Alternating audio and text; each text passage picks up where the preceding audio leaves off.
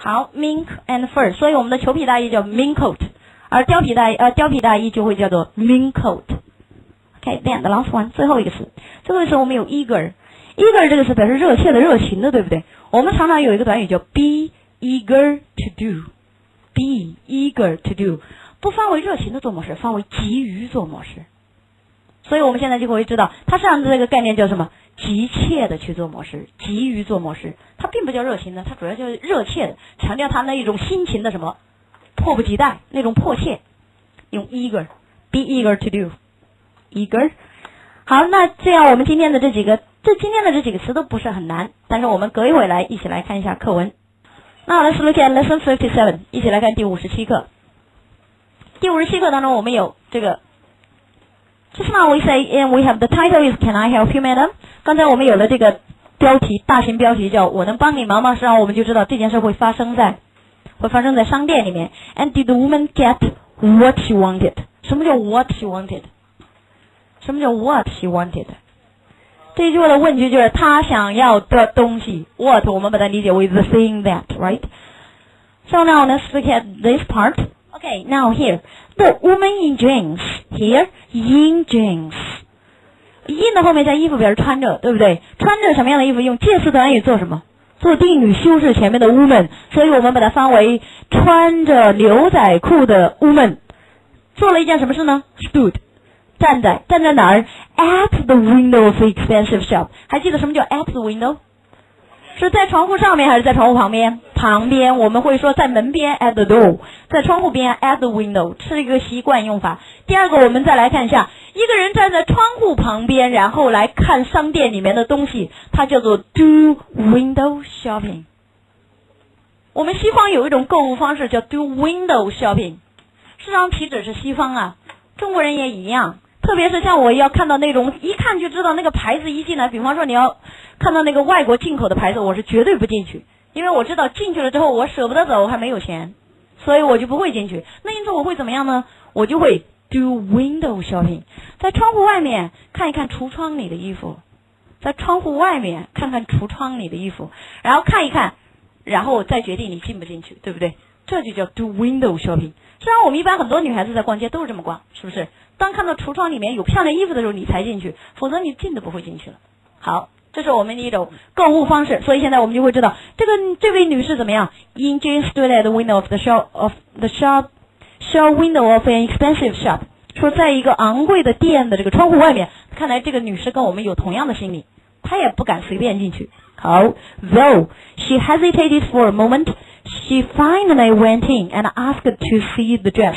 Which was in the window？好，这句话这么长，怎么来理解呢？Though，什么叫 though？尽管或者虽然，虽然 she hesitated，虽然她忧郁，忧郁了什么？For a moment。我们到今天不知道注意到一个事实没有？就是 for 加段时间不一定非要跟完成时态连用，它可以跟一般时态连用，只要这个动词是什么动词就可以，延续性动词就可以，只要这个动作能延续，我不在乎你是不是完成时态。我都可以跟段时间连用，尽管他犹豫了有犹豫了有一会儿，she finally finally 表示时间时间副词再放在句子中间，他最终怎么样？Went in 进去了，and 并且干嘛？Ask to do something 叫请求做模式。Ask to do，他为什么没有用其他词用？Ask to do？ask to do 强调这个人他他的这种什么请求实际上是一种这种态度。Ask to see the dress。请求要看一下那个衣服，什么样的那件衣服呢？That was in the window. Here, that 指代一个引导一个什么句？定语从句修饰前面的 dress。你就赶快把 that 这个句子，我们曾经教大家定语从句怎么表达，把 that 从句画下来，指向打一个箭头指向前面的什么 dress。你要立刻学会这种箭箭头，以后你看就好看了。你看这个词是哦，这个句子是指向它的，修饰它的。我们的修饰符号在英文当中表达就是一个箭头指的。好，这个 dress that was in the window. The assistant who served her did not like the way she was dressed. 这里面我们来看 the assistant who served her, who served her，修饰前面的什么 the assistant，修饰前面的这个这个什么店员，这个店员什么样的店员呢？接待他的这个店员。好，主句 did not like the way，不喜欢那种方式。 不喜欢哪一种方式 She was dressed。好，这句话出现了，She was dressed。首先，这句话里面，我们首先接触第一个概念，dress。就是这个词的用法，我们表示的是作为动词表示穿，还记得吗？而且我们还说过，说 dress 这个词可以做动词用，表示穿。那么穿这个词到底怎么用呢？我们曾经说用 dress somebody。dress 的后面它往往要加宾语，要加人的。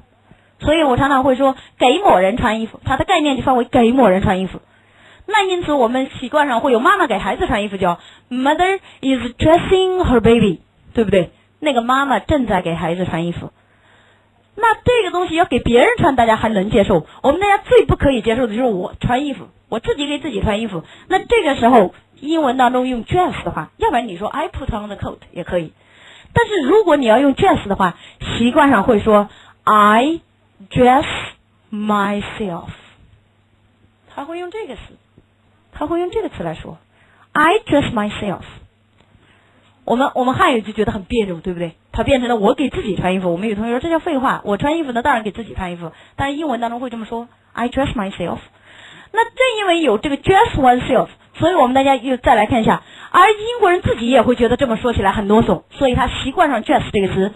你看，不管怎么说，dress 这个词后面一定是要加什么宾语的，所以我们这个词往往习惯上它就会把这个宾语调到句首去做主语，而把 dress 变为什么？被动。现在我们来看看，I dress myself，我穿衣服，我给自己穿衣服。事实上就是我自己什么穿，就是 myself was dressed，我自己被穿衣服，被谁呀？被我自己，对不对？但是我们曾经说过一个概念，就是反身代词是不能做主语的。大家记不记得这句话？那所以我们的 myself 要重新归位为人称代词当中的主格 I，所以那句话就变为了。I was dressed。现在明白什么叫 she was dressed 了吗？什么叫 she was dressed？事实上就是他谁给他穿的？不是他被穿，事实上就是他自己穿的。不喜欢什么呢？他自己的穿着方式。好，she was dressed。现在我们就记下来这个概念，就是 dress 这个词一旦要用的时候，习惯上用主动用被动，被动叫 be dressed。如果穿着什么衣服，习惯上用一个短语叫 be dressed in。表示穿着什么衣服，穿嘛叫 be dressed，然后穿着什么衣服叫 be dressed in，所以现在会说他穿着牛仔裤，叫做 she is dressed in jeans 就够了，she is dressed in jeans。刚才我们说穿着牛仔裤就用 in jeans 是介词短语，现在直接用动词短语就 be dressed in jeans。好，那么然后我们再来看今天的第二个概念，在同一句话当中。我们的主句叫做 didn't like the way，不喜欢那种方式。什么样的方式呢？She was dressed。那么事实上是不喜欢那种她穿着打扮的方式，对不对？那按理说这个 the way 跟后面这句话应该什么关系啊？定语从句吧。而我们说定语从句当中，它要加，它也应该加一个引导词。但是我们居然发现这句话当中没有引导词，而且他发现你引导词还加不进去，你还不知道是加 that 好还是加 which 好。那么因此，我们今天请大家在这里面注意好了。我们 the way 这个词后面可以直接加从句，而且这个从句就叫定语从句。但是这个从句往往不需要用引导词的，the way 的后面这个从句往往不用引导词，直接翻译为什么什么的方式。好，那么下面我们就请大家帮我说这句话：他吃饭的方式，我不喜欢他吃饭的样子。事实上就是你不喜欢他吃饭的方式，对不对？I don't like the way，我不喜欢方式，什么方式？She eats。对不对？She eats，他平常吃饭的那个方式。你看，she 主语干嘛？吃饭，eats，这就是我们所说的我不喜欢他吃饭的方式。好，那再来看一下，我们所所说的就是还有所谓的我不喜欢他吃饭的方式，实际上就是这个概念，就是他吃饭的样子让我很烦。他吃饭的样子老是嘴巴啪啪啪的搭，然后你会觉得哎，怎么这么烦人？这个时候你会说他吃饭的样子让我很烦，你会怎么说？你就会说 annoy，你会用 annoy 这个词，烦恼，对不对？好，那你会怎么说呢？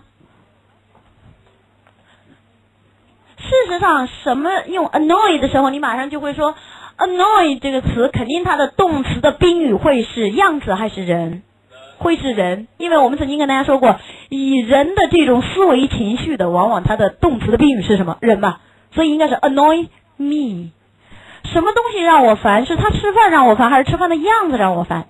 样子让我烦。所以事实上这句话的主语是 the way annoyed me，对不对？那个方式让我烦，什么样的方式让我烦？加一个句子，she eats，结果就变为了 the way she eats annoyed me。哎呀，他吃饭的方式让我感到很烦。Understand？明白这句话吗？好，那所以我们今天在这一句话当中面临的两个概念：第一，dress 这个词一旦出现用在句子当中，习惯上用主动、被动、被动；第二，我们 the way 这个词后面可以直接加一个从句，而这个从句就叫什么句呢？叫定语从句。但是这个定语从句不同于其他定语从句，其他定语从句要加什么 that、which，而且还要在从句当中做成分。但是我们 the way 后面的这个定语从句跟它之间有没有引导词连接？不需要。而且这个即使有，我们假设一下，即使有 that、which，在这句话当中有没有作用？也没有作用。但是在英文当中，它就称它为定语从句，也没有办法。好，那所以我们今天在这里面就记一下，the way 属于什么结构？特殊结构。好，特殊结构。所以，那么下面我们请大家帮我翻这句话，叫做“我做饭，我做饭”，怎么说？I cooked，I cooked，对不对？我做什么饭呢？我用这种方式做饭。I cooked in the way，对不对？用什么样的方式呢？你教给我的方式。什么样的方式？你教我的方式。I cooked in the way you 什么 me？You taught me. You taught me 就可以了。中间这个 that 不要。原因是什么？反正这个 way 后面可以直接加定语从句，不需要加连接词，对不对？好，就是 I cooked。In the way，什么样的 the way you taught me？接着往下看，那么今天我们来底下的一句话，我们一起来把它看一下，叫做叫做什么 her？Glancing at her scornfully, he told her that the dress the dress 怎么样？was sold. Here, glancing at her scornfully, who glanced at her? Who? The assistant.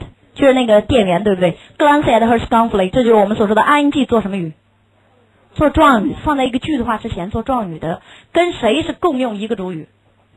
跟主句共用一个主语。而且这句话最明显的特征，它不会有 be 动词这样的概念。不管它是主动还是被动，它都没有 be 动词。